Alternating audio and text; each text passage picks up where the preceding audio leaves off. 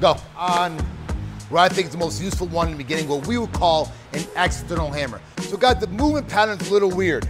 And that's what we're gonna work on right now. I'm gonna bring my elbow to my center line by almost throwing and getting my hips to turn over. Now my left hand, which is hanging around my temple, is gonna come around and drop as I take a step forward. So it kind of looks like this. One, boom, whoop, boom.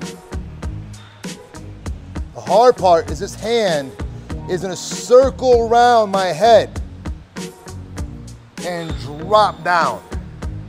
That's the weird thing.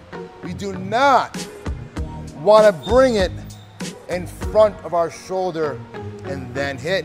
It should feel like I'm literally dropping a hammer right down on his fucking head. Feel good? No. Okay, so one more time. You guys kind of play around this a bit.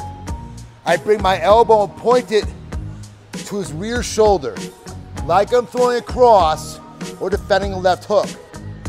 Now I'm gonna bring my body around and drop, almost like you're rolling. Then when you get that feel, you add a step. Oop, boom. And that's that crash. Cool? Let's try.